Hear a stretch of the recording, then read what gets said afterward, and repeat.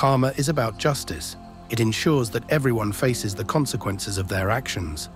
Those who wronged you, who treated you unfairly, will eventually face the results of their choices.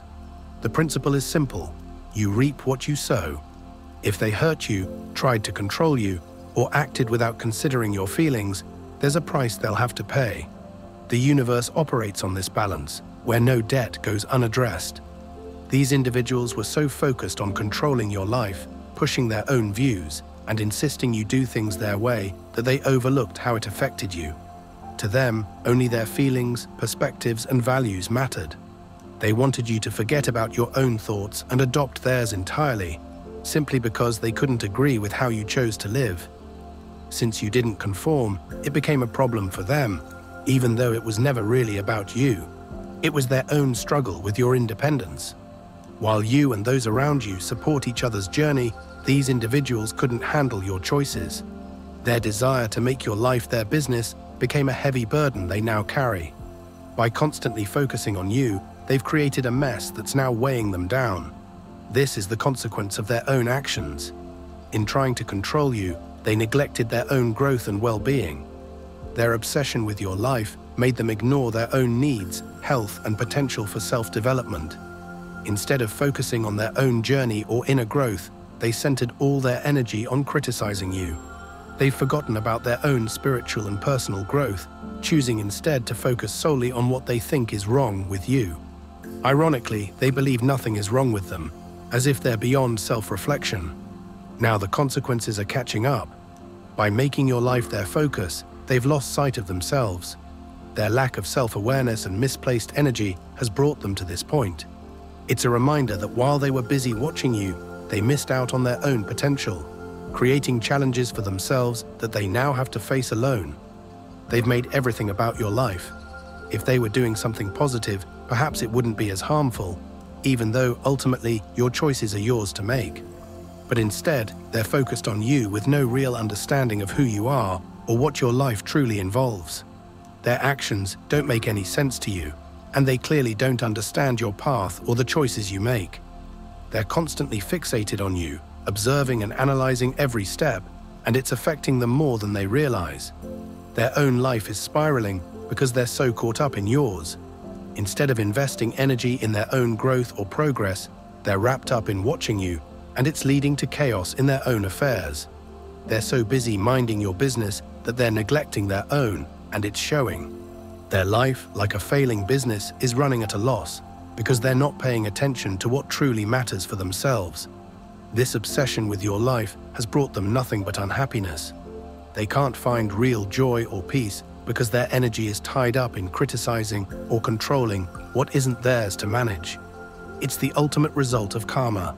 By choosing to focus on your life rather than their own, they've blocked themselves from finding love, joy, and contentment. How can anyone embrace them with kindness or compassion when they've cut themselves off from these connections? They've put up walls by constantly attacking or doubting you, making it difficult for anyone to offer them genuine kindness. They don't give you space to live freely, constantly interfering or casting judgment, and it's brought them nothing but loneliness. While you're living your life, they're trapped in this cycle of frustration and dissatisfaction, unable to be inspired or move forward because they're too busy watching you. Their minds are overwhelmed while you continue to move forward, unbothered. Ironically, by making your life their problem, they've only created more problems for themselves. This is the reality they face, a life lacking in peace, all due to choices they made to focus on you instead of building their own happiness. As my father would say, don't let someone else's problems become your burden. But for these people, it's the opposite. They've turned your happiness into their frustration. They're constantly stressed because of their fixation on you. Obsessed with control, they tried to control your life, but you didn't let them. This inability to manipulate you is tearing them apart. They wanted you to follow their rules, to live according to their wishes, and it frustrates them that you won't bend. This frustration is something they've created themselves. Their own actions have brought them pain, lack, and emptiness because what we send into the world eventually returns to us. They didn't show you love or understanding. They judged you, constantly criticized you, and painted themselves as righteous while looking down on you. Ironically, they're blind to their own faults. Meanwhile, life goes on around you, filled with peace and hope. You're surrounded by positivity, enjoying moments in nature, and receiving good vibes. Karma, however, has caught up with them, and they're unable to find joy or peace because of how they treated you. Some have even taken their bitterness to social media, talking behind your back, spreading lies, and trying to damage your reputation. If you were weaker, such constant negativity might have broken you, but here you are, resilient and hopeful. Their lack of regard for your feelings shows how deep their issues run. They laugh at you, mock you, and find joy in trying to bring you down. But they don't realize that it's not about the first laugh, it's about the last. The one who laughs last laughs best, and when it's their turn to face consequences, they won't enjoy the taste of their own medicine. They might struggle to swallow it, just as they've made others struggle with their actions. They dug a pit for you, but they'll end up facing the same fate. The cycle of actions returning to us is real, it's not about wishing harm, but recognizing that seeds of pain only bring pain in return. And while they continue their destructive ways, you're moving forward, filled with resilience and a renewed sense of peace. Those who tried to bring you down are now feeling the consequences of their actions. The weight of what they've done has become too much for them to handle. They can't sleep, and their minds are restless because they crossed a line with you, disrespecting and dishonoring you. They didn't realize who they were going up against. They shouldn't have chosen to challenge someone moving forward with strength and resilience. They thought they could defeat you, believing that their efforts to harm you would succeed. But no weapon aimed at you will ever work. They may bring their negativity, but it won't stick. It simply doesn't have the power to reach you.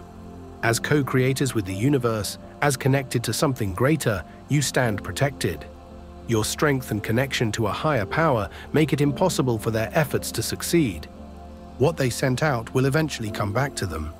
If they had chosen kindness, they would have been surrounded by peace and positivity. But by sending out negative energy, they've set themselves up for turmoil. In this brief time we all have on this earth, why choose to spread harm? This reminds me of a recent experience. I hired a man to build cupboards for a project I was working on, and I paid him a large deposit. Yet weeks went by with no updates from him. Eventually, I found out he had passed away before completing the work. It's a reminder that life is short, and none of us can predict what comes next. This man was here one moment, with all these plans, and then he was gone. The lesson here is simple. Instead of holding on to anger or focusing on bringing others down, we should aim to live in harmony, peace, and kindness. Life is unpredictable, and our time here is limited. When we choose to act with positivity, we not only protect ourselves, but also build a life we can be proud of, free from the burdens of regret and negativity. A friend from my childhood was supposed to complete some work for me. He was a skilled joiner, known for his craftsmanship in hotels and other projects. Just recently, we shared some laughs, but yesterday morning I woke up to the news that he had passed away. Not only was his work unfinished, but so was his time here in this world. It's a reminder that life in this physical form is fleeting. Yes, the spirit lives on, but physical death is a reality. Reflecting on this, it makes me wonder, what's the point of all the fighting, of people causing each other pain and trying to control one another?